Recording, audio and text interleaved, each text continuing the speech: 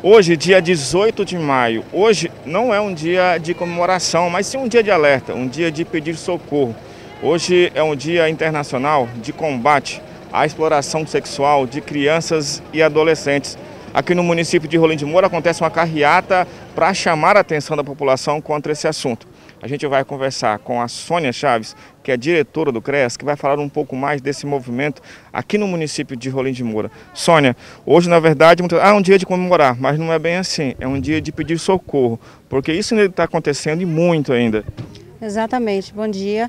É, apesar de ser é, o movimento ser Faça Bonito, quando se refere ao Faça Bonito, é, nós estamos é, se referindo a fazer bonito na questão de denúncias e não na questão da, da, da, da violência, né? O Faça Bonito é as pessoas se conscientizarem, os pais estar cientes da, da, das, da, do, da, como está o seu filho em casa, porque todo pai ele conhece o seu filho. Então o filho ele apresenta quando ele está sendo, é, o direito dele está sendo violado, algo está acontecendo com ele. Tá? É, durante o mês de maio, nós fizemos toda uma programação, considerando a pandemia, os números têm aumentado, né? E, então, em articulação com a rede, através da Secretaria de Assistência Social, a secretária Sandra Miranda, que preparamos né, a, a, a toda essa programação. Desde o dia 1 de maio, nós estamos é, com programações, programações remotas, com vídeos, com é, é, paradas informativas no semáforo com os parceiros, né? E para quê? Para chamar, mobilizar a população de Rolim de Moura a fazer bonito na denúncia, a fazer bonito, a observar a criança. Tá?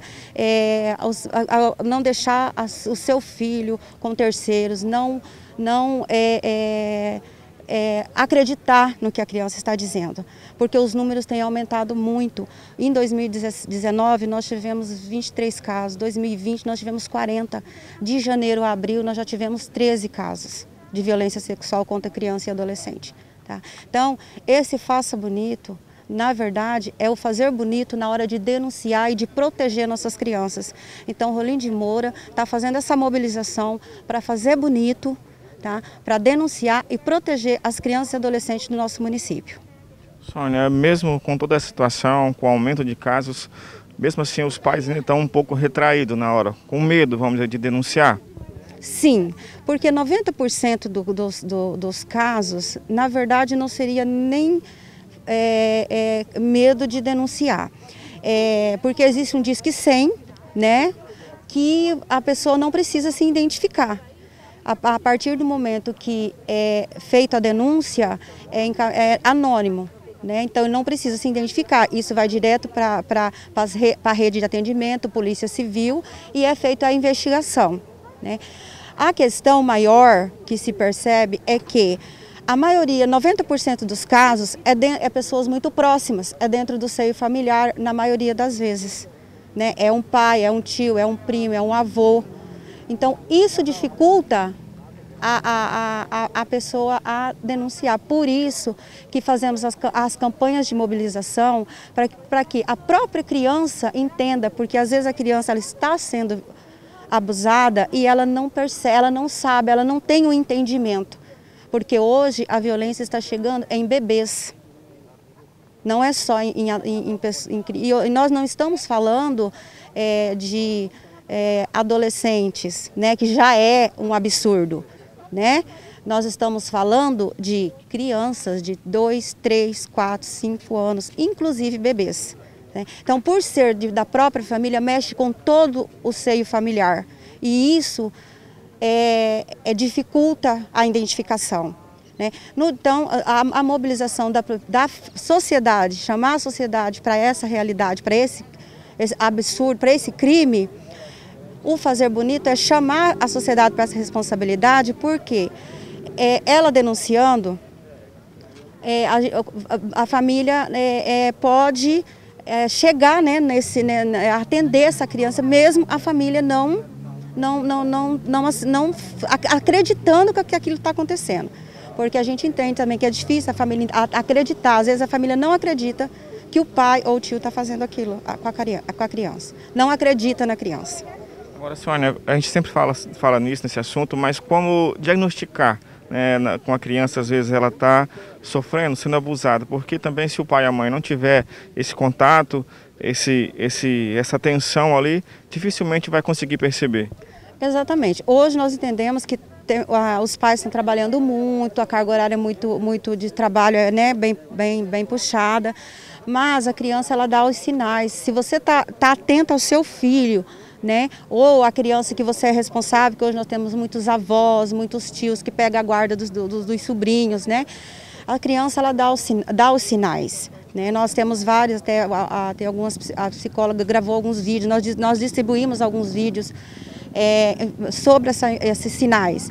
A criança ela começa a ficar muito chorosa, ela começa, por exemplo, chega um, um, parente ou um amigo em casa, ela não quer chegar perto daquele amigo e, e às vezes o pai ou a, ou a pessoa, por inocência, vai lá, pega lá da benção para ele. E ela não quer, porque ela está com medo, ela está retraída. Então o pai tem que ficar atento a isso. Né? Ela é compulsão por comida, às vezes não quer comer, ela come normalmente, se alimenta normalmente, de repente começa a não comer mais. Ou com, começa compulsão por comida, né? Às vezes é mutilação, começa a, a, a, a se, se, se automutilar. Tudo isso são sinais e muitos outros sinais, né?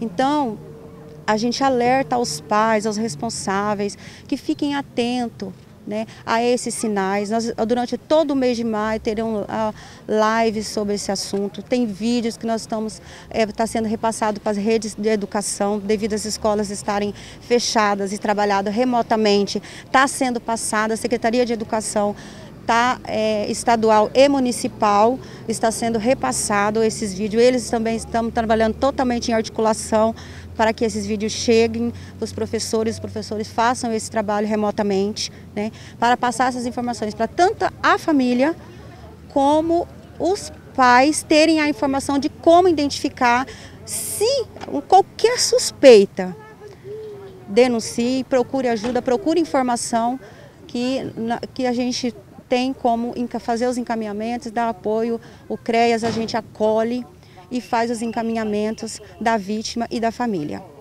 Os números de telefone, no caso, para denúncia, porque são vários. Então, nós temos a Polícia Militar, Conselho Tutelar, Polícia Civil e o Disque 100.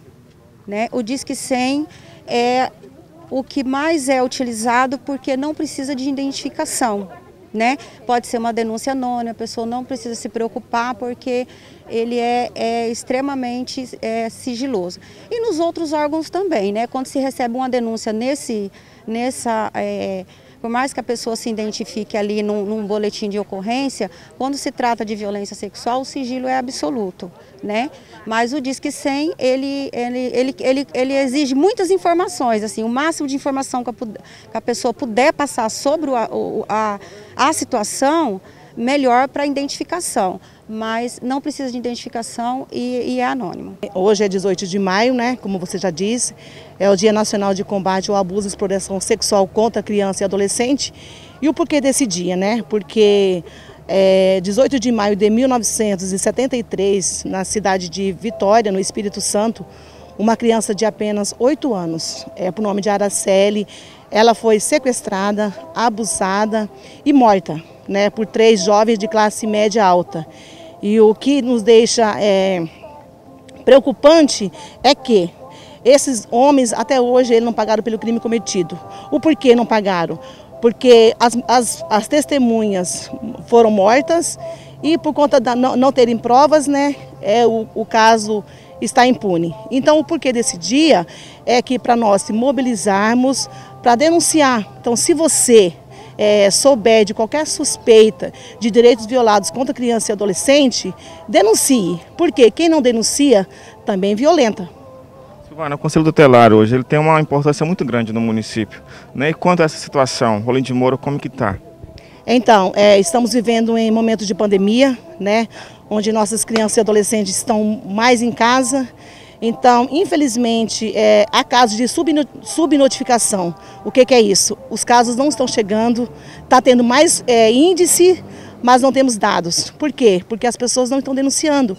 Porque o abuso, infelizmente, acontece onde? Dentro de casa. E o conselho tutelar é a porta de entrada para essas denúncias, né? Então, assim, se você, como eu disse, tiver qualquer suspeita, denuncie. Tem um Disque 100, tem um conselho tutelar, tem um CRES, Polícia Militar, tem vários órgãos que você pode estar tá fazendo a denúncia. O importante é o quê? Você denunciar. E essa, essa carreata hoje é para despertar, chamar a atenção. Justamente. É, muitos dizem comemorar. Não se comemora uma tragédia. Nós estamos aqui, juntamente com a SEMAS, o CRES, é, para mobilizar a população em denunciar. Então, qualquer suspeita, não precisa, ah, eu tenho certeza. Não, qualquer suspeita que você tenha, que tem alguma criança tendo seus direitos violados, denuncie.